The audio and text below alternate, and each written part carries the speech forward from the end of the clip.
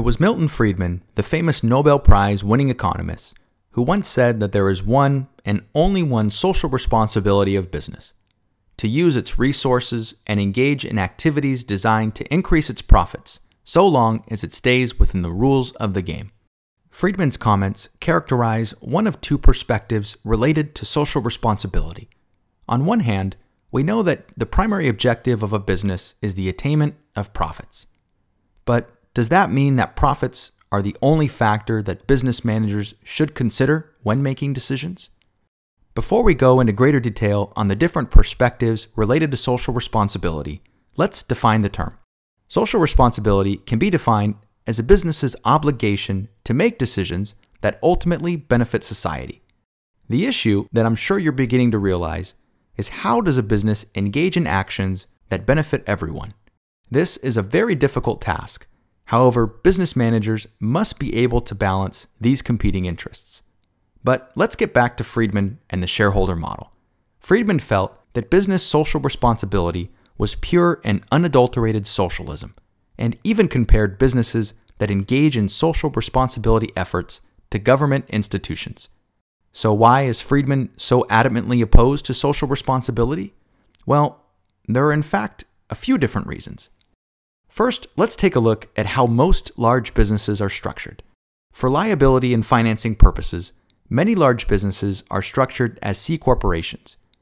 Now, the only thing you need to know about C corporations to understand Friedman's argument is their composition.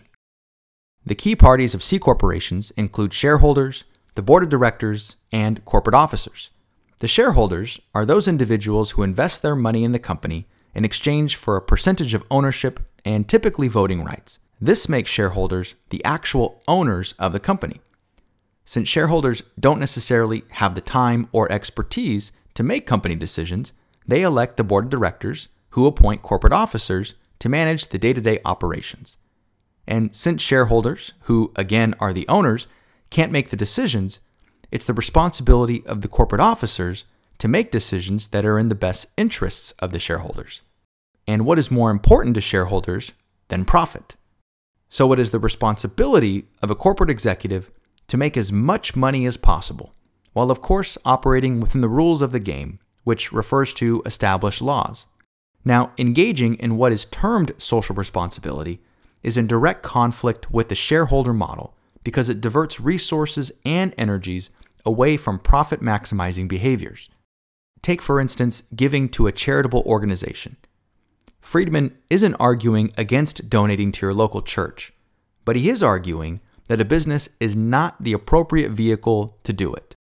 For one, finding a cause that all of its shareholders agree with would be nothing short of a miracle.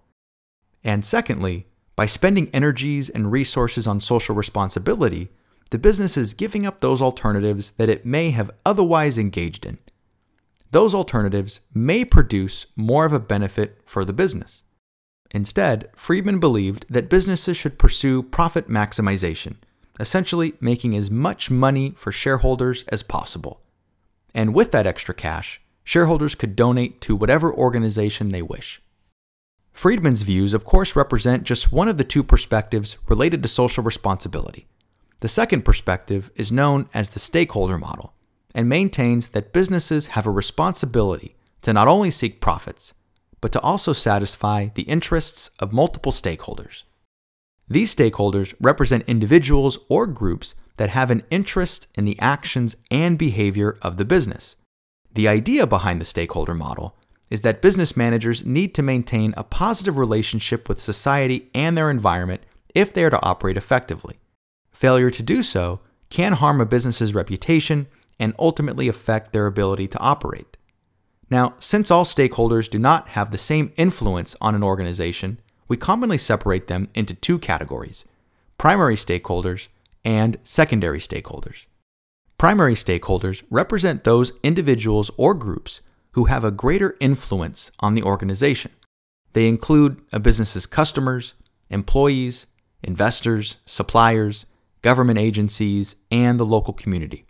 These groups are of utmost importance because the business relies on them for long term survival. Think about the impact on a business if its customers stop buying products, or investors withdrew their investment. Under the stakeholder model, business managers' top priority should be satisfying the various interests of these groups. Although secondary stakeholders are not as critical as primary stakeholders, they still can influence public perceptions of the business. Common secondary stakeholders include special interest groups and the media.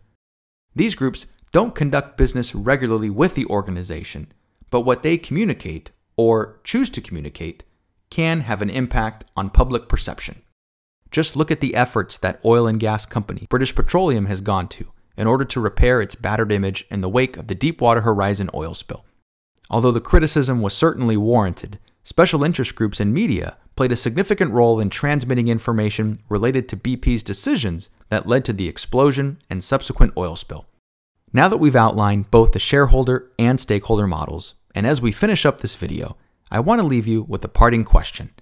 Should business managers subscribe to the shareholder model or the stakeholder model? Perhaps a better question is if you were the business manager making the decisions, which model would you follow? If profitability is a business's objective, then is it wrong to make decisions with that objective in mind? Although you can certainly make the case that cutting costs to boost profits in the short term didn't benefit BP in the long run. So maybe acting socially responsible is less about being socially responsible and more about being profitable. It could be that being socially responsible is in fact good business and not pure and unadulterated socialism, as Milton Friedman suggests. Even if managers only consider the interests of stakeholders for the incentive of profits, doesn't everyone win? Let us know what you think in the comment section below. And while you're leaving that comment, go ahead and click the like button, assuming of course that you enjoyed this video. And remember to subscribe to Alanis Business Academy to have our latest videos sent to you while you sleep. Thanks for watching.